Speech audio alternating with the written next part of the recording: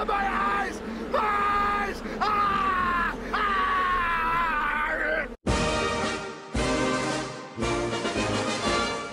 The King Tiger is a tier 4, 6.7 German heavy, that proves how retarded German tank designers were. What are you retarded? 99.9% of the people who play this tank are fucking idiots. When driven by someone who isn't a complete dumb fuck, the King Tiger is literally the king of 6.7 tanks, making bank and making Russians cry, wherever it goes. Here is how to get good in the King Tiger. You load 50 rounds of APCBC, and 5 rounds of APCR, which you'll probably never need. The Tiger 2 can do anything, as long as it doesn't involve going fast. Your gun is a high velocity sniper rifle, historically accurate enough to make Gaijin salty.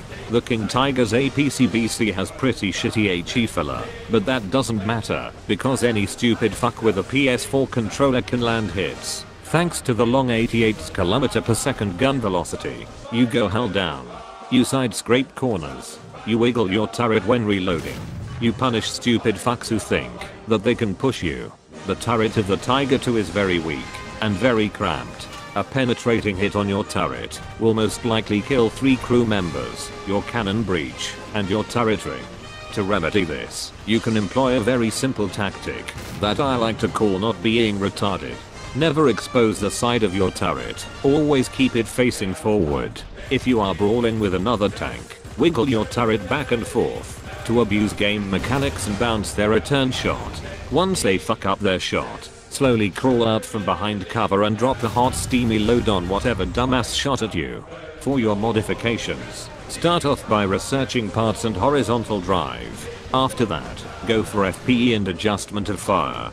Next, research elevation mechanism, crew replacement, and Panzer Grenade 40s. When you're done with all that, finish off the mobility line.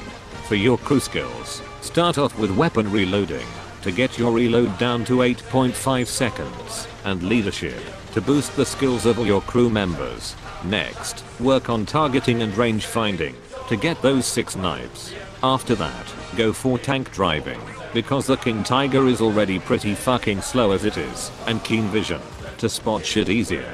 After that, do whatever the fuck you please. This is how to play the King Tiger correctly. Now you can get disgusting amounts of silver lions and RP. Get out there and spread fascism like there's no tomorrow.